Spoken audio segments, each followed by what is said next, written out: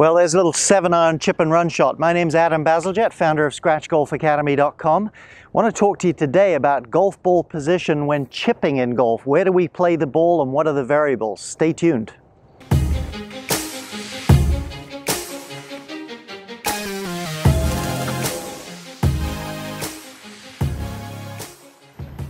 Okay, so golf ball position when chipping in golf. Let's talk about a few of the variables and what should be similar. Now I've got two clubs, a pitching wedge and then a seven iron you saw me chip with just a minute ago. Uh, and we're going to show you what would be the determining factors on that. Before we do that though, I want to show you a couple of general things or at least discuss them with you. Now if you like the video, please hit the like button subscribe to the channel. Would love to get you more of this free content as we go along. So what are the basic premises? Let me put the pitching wedge down. The basic premise is that your club is likely to bottom out or hit the bottom of its, the lowest point of its swing right underneath your body center like so. So if you want to hit the ball just at the bottom of your swing, and we'll give you the variables in a minute, that's the position. In general though, you want to hit the ball a little bit before you get to the bottom of your swing when you're chipping. So what I would recommend is just plumb bob a club from your shirt buttons like so, ball about middle, and just put your weight a little forward so that you think that's just hitting the ground, oh, a couple of inches in front of it. And say to yourself, once you've looked down and memorized it, that would be my bread and butter ball position. So just something like that, put the club back in your hands and get familiar with that. Let's talk about a few variables, and for that we'll do a close-up camera angle. Okay, so we've got two slightly different situations. This is tight fairway grass, and this is a little bit spongy spongier light rough. And of course, there's other situations you could get into, such as heavy rough. But we'll just talk about these more typical chipping lies. In a case of a seven iron, because it has less loft, the sweet spot of the club leans up against the ball a little bit more easily than does, say, a more lofted club. Again, there's the sweet spot, something like a pitching wedge. This club requires a little bit more forward lean or a fractionally more descending blow for solid contact. Similarly, the more the ball is sitting down in flat, firm turf, the more I have to lean the club forward for solid contact.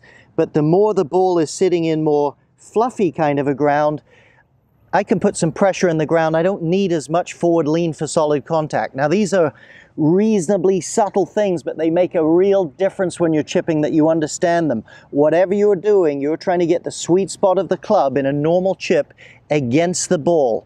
And some lies and some club choices require less lean of the club some require a little bit more lean of the club, and you have to master that to figure it out. It's one of the reasons it takes a while to become a really quality chipper is because it's not just vanilla solid contact, but the subtleties of how you use the club and the ball position related to the lie really, really affect the trajectory and the way the ball comes off.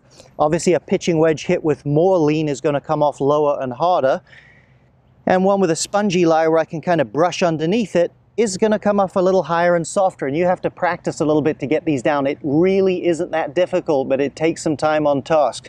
So those are the principles as to what we're looking for. Let's look at a couple of other general ideas.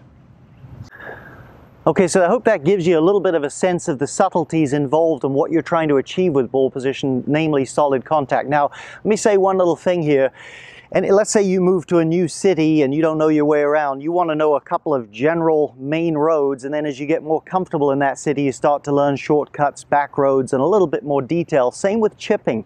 Start out with that ball position I recommended where your shirt buttons are slightly in front of the ball, weight's a little left and just make relatively consistent contact and get used to maybe two chipping clubs. I like a pitching wedge and an 8 iron or at least a club gap between them, you may like more than that. As you get more confident and more sophisticated, start to branch out, like knowing the different back roads in a city.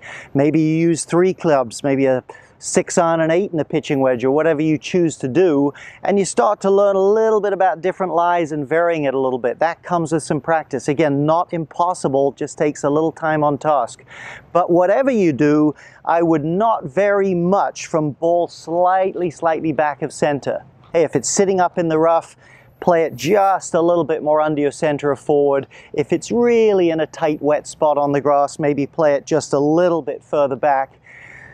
But if you vary it too much, you'll either start stabbing down on the ground and digging the club here or scooping too much and changing the loft or mishitting there. So just a little variance from slightly behind center to center, give or take a little bit.